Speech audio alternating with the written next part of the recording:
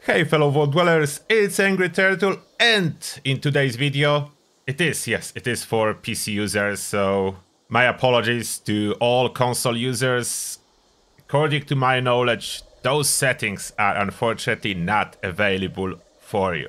But if you want to see what's possible on PC, feel free to stay. Now, what I want to focus in this video is a lot of custom ini settings that we can use for quality of life improvements in Fallout, as well as several settings that can improve how good Fallout 76 look like. If you are particularly looking for FPS improvement, let me know. I could do another video in this topic if you just need to push FPS higher. At this moment, I don't think anyone is struggling. Maybe? Is there anyone with PC older than like 5 years that is still struggling to get a good FPS? Like, I, in this moment, have 110 FPS, and that's on really high details. So, I try to make the introduction into INI files as easy for you as possible. I have all the settings that are useful compiled and I will talk about them. Just in case you are new and you don't know how to make your custom ini, it is super simple. All you need to do is go to your documents, then find my games folder, after that Fallout 76 folder, and depending if you are using the game through Steam or through Xbox Game Store, it there will be ini files called Project 76 or, or Fallout 76.ini. So when you don't have your custom ini yet, all you do is take that regular Fallout76 ini or Project ini, copy it, paste so you have that, it's the copy. Then open it, select all, it's Control A, remove, save, so it will be blank at first. So you have it empty, it does nothing. Then rename it and just remove the part about the copy and that, go to Fallout 76 and basically type custom and enter, that's it. I'm not creating it because that will be duplicate, I already have one. After you create it, you name it Fallout 76 custom.ini or project 76 custom.ini, depend what was the beginning of the name. You don't change it, you just remove the copy and replace as custom. After you will do it, from the description on this video, just copy everything and paste into this file then save. Uh, for your own convenience, I will do it in the way that initially all those settings will be disabled. So it will be doing nothing, and then you manually switch on what you want to have on. Now, what can you choose from? Let's discuss those changes one by one. Hopefully you can see it. I try to do it a little bit bigger. So those are the settings I'm running. I will make it for you that there will be everywhere the minus sign in front on every setting, which means it's disabled. When there is minus sign, it does nothing. When you remove it, it will do what is in description I put together. I apologize already for any possible typos. Um, like I'm not good with letters. I'm way better with numbers. And ini file do not correct you when you type something wrong. So that out of the way, what it does intro sequence, that's when you are starting the game. No standby video, straight into the skip button. So no delay. You will still need to wait if your game can crash if you press anything too early. So a little bit you may wait, but there is no forced wait. After that, uh, let's go skip splash.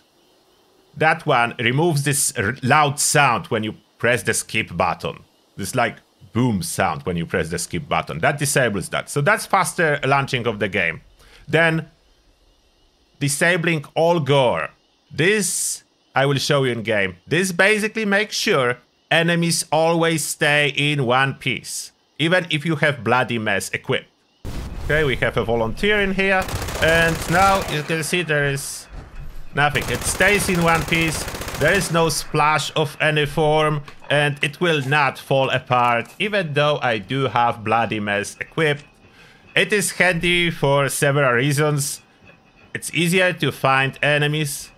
It's easier on the game for FPS purposes too, but that's not my focus. I want the game to look pretty. I'm not really focusing in this video on improving FPS. And another aspect, if you want to upload it anywhere, it will be more PG friendly, let's say. If there is no all of these gore effects, they all remove. Then there is more loading uh, improvements, like when you use elevators, I just put faster elevators. It just all the loading screens interface, the same thing. Loading screens, fast travel, loading screens, and so on. Uh, let me demonstrate what it does. And I'm not sure about this one, if it's even necessary, but it seems that must be here for some cases to get these faster loading screens. If you know better what this one does, is this one I just copied from someone, uh, let me know. It says show compass, but I have no idea what it's supposed to do in relation to faster loading screens. So how those loading screens work? If I fast travel somewhere, like Wayward for example, normally after this loading screen will end, there is like a fade from black that slowly dissipates. And this setting makes it dissipate in one second and let you move instantly after. The side effect, especially if your hard drive is a little bit slower, you will sometimes see objects appearing in front of you after you fast travel as they spawn a little bit too slow. But it makes all loading screens faster. Another loading screen into the interior and the same, it lets you move faster. It's only one second wait instead of, I think default is like three or five. I'm not even sure. So just lets you move faster. Next one, mouse acceleration this one disables mouse acceleration. So regardless how fast you move your mouse, so so in this case, regardless how fast I move my mouse, the amount I rotate with the crosshair, it's only dependent on how much I move the mouse. If you have mouse acceleration, the fast movement with will increase amount of space your crosshair will cover. So you can do 360 by very very short movement if it's fast movement. In FPS games, obviously we don't want that. You want to be able to quickly aim at whatever you want without overshooting. And there will be a lot of overshooting if mouse acceleration is on. After that, some additional things like fog, you can disable it. It's not all the fog, some of the fog will be disabled, so better visibility and wetness occlusion if you don't like how the wet characters and everything wet looks in Fallout 76, which is, to be honest, kind of like it, wet characters for me looks like they made out of wax. So I don't necessarily like it. If you switch it, if you use this setting, they will never be wet. It's, all characters will be always dry, even if it's raining.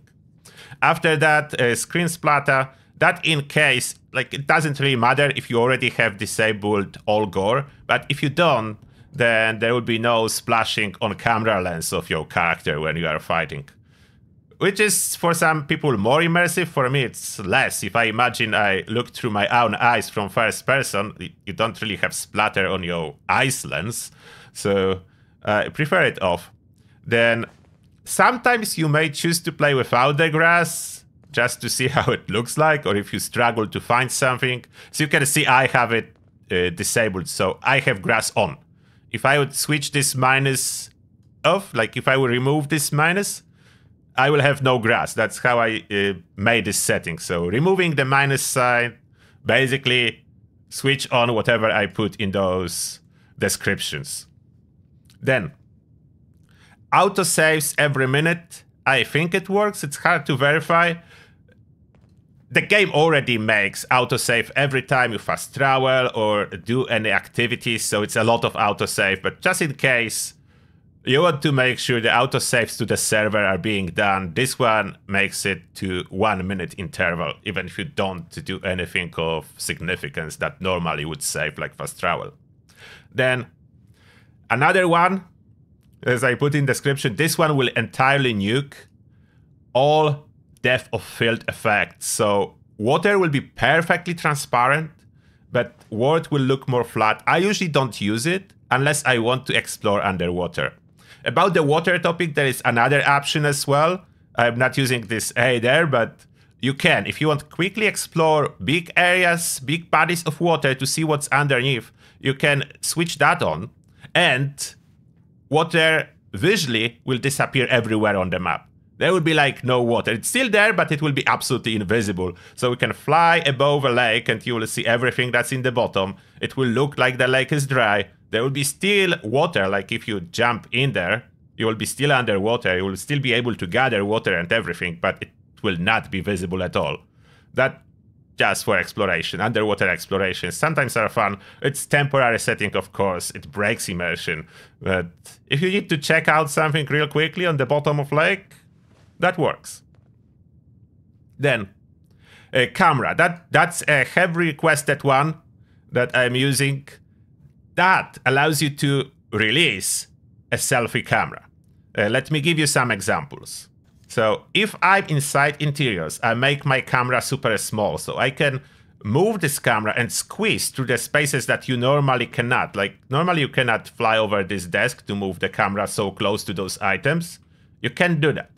But if your camera is super small, you can. So you can fly through the spaces that normally you are not allowed to. More freedom to your camera. As well, the distance, how far can you fly, is completely unlocked with the first setting. So now I'm outside, I can show you that. You need to be outside to show that. Let's put the camera speed to the maximum. Uh, switch the depth of field off.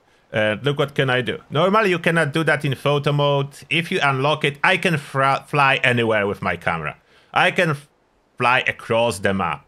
There is no limit. Basically the limit is entire map at this moment. Of course, unfortunately, the textures will not render based on camera. They do render based on your character. So if you fly too far, like you can already see here, there is no grass. The billboard is getting off and some things are disappearing when you are too far too. So yeah, it gives you the freedom. You don't necessarily want to fly as far away, but it gives you this freedom. You can take picture from as far away as you please for whatever purpose you may need that. And those will be all the settings from the custom in. You can see what I'm using. Whatever does not have the minus sign in front, I'm using. Whatever does have it, I'm not using, but it's here for me if I would like to use it one day for whatever reason. It's available. Now let's go to the second topic, which is making game more pretty. And for that, we'll be using the regular game settings, as well as NVIDIA control panel and prefs ini. So that's another ini file. Settings you need to do first. So whatever you want to do regards to display setting, you do it first. Borderless or full screen windows, this one is up to you. Basically what I recommend, if the game is crashing in whatever mode you are using it, switch it to other mode. Quite often it's fixing the problem. Resolution, fit all of that. Uh, I have everything ultra high as much as possible with exception of shadow distance that I keep at medium. Those are heavy and let's be honest, Fallout 76 Shadows uh, are not up to modern standards in gaming. So I did what I could to improve them, I will show you. As well, I have rendering distance to the maximum. My my PC is two years old, but can absolutely do all of that, usually with above 100 FPS. I have a cap set at 120, you can see on the screen, even when recording multiple windows open.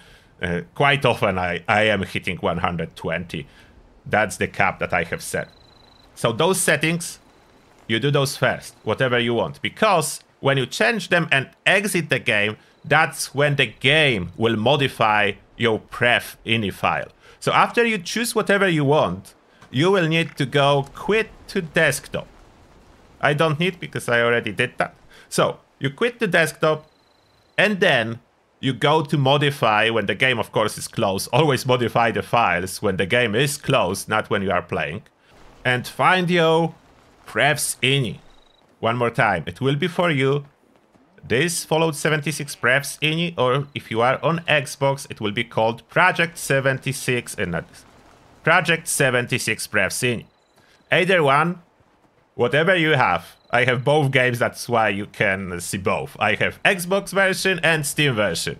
I intentionally kept both on the screen so you can see some of the default settings that I do have on Xbox version and what I did change.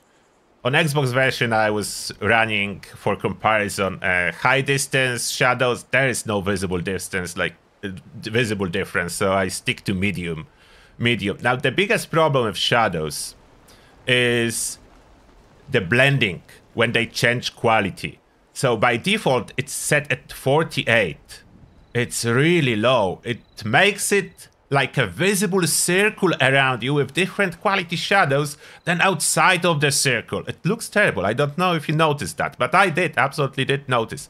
Changing this value from 48 to 192, and yes, you should be do multiply it, not random numbers. I was testing random numbers. It wasn't working very well. So just 4 times 48, we are at 192. And that's perfect value. That's when transition of shadows are no longer visible. There's no this artificial circle. They will still transition, but it will blend in nicely. Is it a day? Can I show it already? Still night, so it will not be perfect showcase, but you can see at those shadows. Uh, coming closer, they have more details, but they still quite soft. Uh, I did one more change to make them almost always quite soft. If I move away, you can see that resolution drops and they a lower resolution even softer.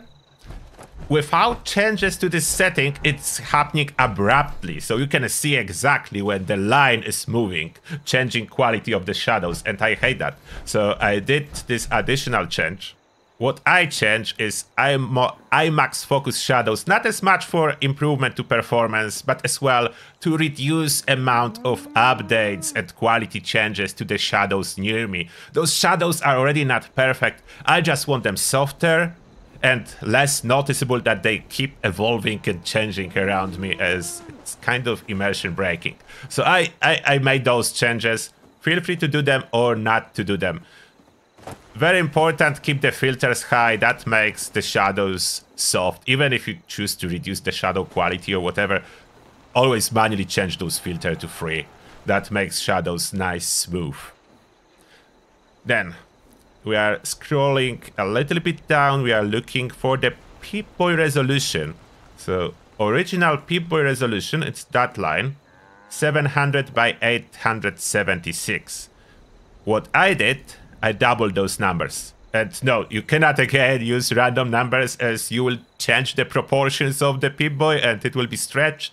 Just double it. Doubling those numbers quadruple the resolution of the Pip-Boy. How does it look like? If I open the Pip-Boy, look how high resolution.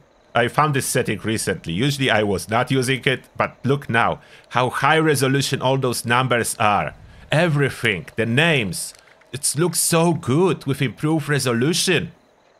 And even animations of those green weapons. This is all quad resolution for everything in your Pip-Boy. Regardless of Pip-Boy mode, I think it works in any Pip-Boy mode. Of course, you know I'm using the green overlay one. That's my favorite. And yeah, look how much better that looks. That's a huge bump into quality in my opinion having this high resolution Pip-Boy rather than original low resolution one. I don't know if that has any impact on game performance. Probably none. And that's all the changes that I did separately from what you can do from game settings. Just, just those little touches. And now more changes in NVIDIA control panel. I hope you can figure out how to access NVIDIA control panel. It's a little bit different depending on your PC. But you just need to open NVIDIA control panel. Then you go under 3D settings, manage 3D settings. I wish I could make it bigger. Okay, wait. Can I, like, artificially stretch it so you can see better. I hope that will be better and not worse. But let's go over the settings. After you go under Manage 3D Settings, go for Program Settings. You need Fallout 76. I have show only programs found on this computer. If it's not appearing in here for you, press the Add button and it should open the list of recently opened programs. So if you recently just closed Fallout 76, it should be there. Alternatively, if you for whatever reason cannot, you can untick that box and manually find on the very long NVIDIA list Fallout 76.exe. Now, after you find it, the settings I did change to improve the clarity, sharpness and overall quality of the picture as if you're concerned with uh, frame rates. Assuming you have one of the newest NVIDIA graphic cards, the graphic card is not a problem in Fallout 76. It's usually limited by your CPU, so even boosting those settings just improves the quality of the picture without reducing FPS in any noticeable manner. So the filtering 16 times, uh, that's global setting off, global setting on, that we are not changing that. Then anti-aliasing we are overriding an application setting, putting it all to the maximum, 8 times sampling.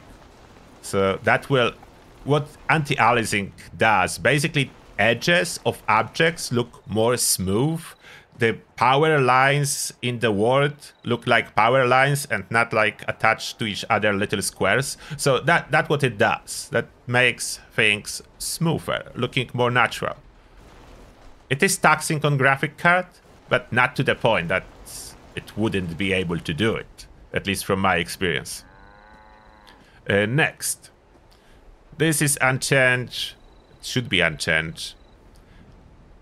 I'm not liking low latency mode, so it's off. Frame rates must be limited. Frame rates must be limited. I completely forgot here to mention, of course, I assume everyone did that already. Hopefully you did, but just in case you didn't, uh, iPresent interval, so iPresent, that's the setting in Fallout Prefs ini that should be changed, always to zero. After that, set max frame rates. I have 120. You can go higher. From my testing, 180 is absolute maximum. After that, the game starts breaking. You'll be randomly frozen, glued to the floor, unable to interact with objects, and uh, other weird things gonna start happening if you go above 180 FPS. So if your machine is capable to go higher, you need to limit it and ensure that it will never go higher than 180. Uh, monitor technology, fixed refresh, then multi-sampling, MFAA, I have on on. I have everything for quality, so nothing for improve FPS. It's all quality settings. Refresh rate, highest available. Uh, texture filtering off. This anisotropic sample optimization, that's filtering off. Negative, LOD bias, clump. Texture quality, highest quality possible. Texture trilinear optimization, off. After that, threaded auto, triple buffering off, vertical sync off. If you see the tearing for whatever reason, I don't see it maybe because my monitor is really fast, so I don't see any tearing. If you do see tearing, I recommend running fast vertical sync as it doesn't affect your input lag, so it still feels very snappy and good at fast. I prefer off. Uh, just mention of other vertical sync options. Although just switching vertical sync off in here without modifying ini files does nothing.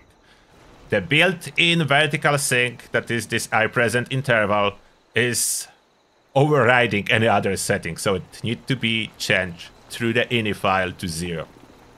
So about the custom ini, I will just copy everything as I have in here with the minus sign in front and paste it at the bottom of this video description so you can basically copy everything from the moment you will see this general in brackets and down below paste it into your custom ini file and then remove minus from whatever setting you want activated for yourself. I do hope this video will be helpful for you. Let me know your results. And that being said, thank you all for watching and see you all in the next one.